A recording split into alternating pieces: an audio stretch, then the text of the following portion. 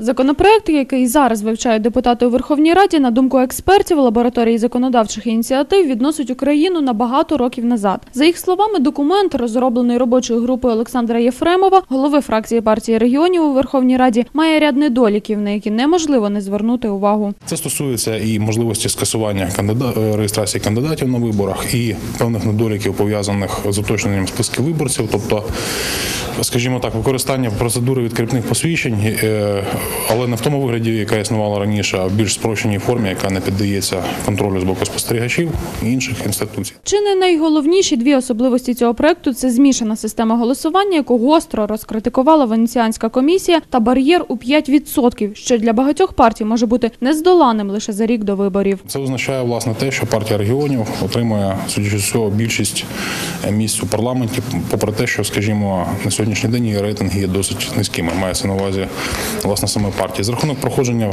незалежних кандидатів або самовисуванців, певних е, представників дрібних партій, які потім можуть приєднатись до е, партії регіонів, створюється можливість того, що власне влада е, або ключові важелі впливу на роботу парламенту концентруватиметься власне в руках е, однієї політичної сили. Аналогом цьому законопроекту є виборчий кодекс, який розробили за сприяння міжнародних організацій. Втім, його депутати Верховної Ради наразі не зареєстрували. Тож якими будуть наступні вибори до парламенту для України, стане відомо вже найближчим часом, коли відповідний законопроект буде поставлений на голосування. Людмила Савонькіна, Віталій Гудилко, випуск новин.